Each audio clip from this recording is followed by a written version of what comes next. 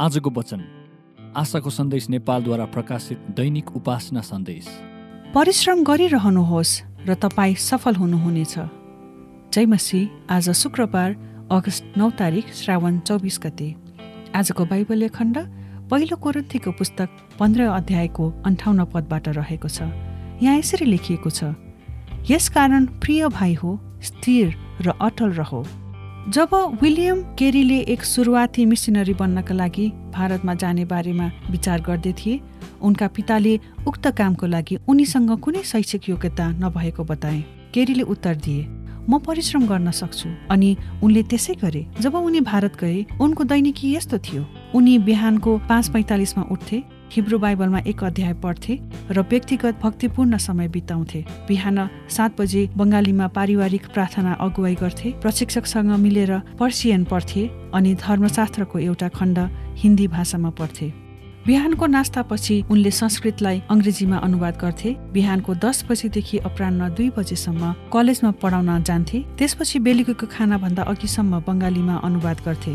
बेलुकी चाँडै खाना खाएर उनले संस्कृतमा अनुवाद गर्थे र बेलुकी सात तिसमा अङ्ग्रेज विश्वासीहरूलाई प्रचार गर्नु अघि उनले तेलुगु भाषा अध्ययन गर्थे। करिब नौ बजे उनी घर फर्कन्थे र दुई घन्टा अनुवाद गर्थे।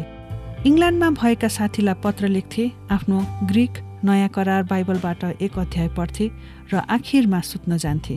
भारतमा सुसन्देश लैजाने काम तथा त्यहाँ मण्डली स्थापना गर्ने कामको श्रेय अरू कसैलाई भन्दा बढी केरीलाई दिइन्छ।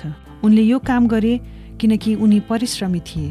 परिश्रमको बारेमा यहाँ धर्मशास्त्रमा दुईवटा खण्डहरू छन्। पहिलो भलाइ गर्ने काममा नथाकौँ।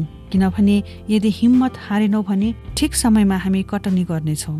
यो तपाईँ गलतीको पुस्तक छ अध्यायको नौ पदमा पढ्न सक्नुहुन्छ।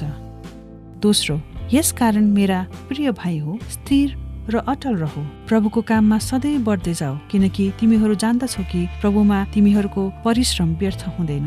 यो तपाईँले पहिलो कोरन्थीको पुस्तक पन्ध्र अध्यायको अन्ठाउन्न पदमा पढ्न सक्नुहुन्छ। धर्मशास्त्रका यी खण्डहरूलाई छवटा शब्दमा सारांस्कृत गर्न सकिन्छ। परिश्रम गर्दै जानुहोस् र तपाईँ सफल हुनुहुनेछ। आमेन। परमेश्वरले तपाईँहरू सबैलाई आशिष दिउन्। जय मसी आजको वचन नेपालमा सर्वाधिक पढिने दैनिक उपासना पुस्तिका। पढ्नुहोस् सुन्नुहोस् र अरूलाई सुनाउनुहोस्। सम्पर्कको लागि आशाको सन्देश Nepal Nakkhu Lalitpur.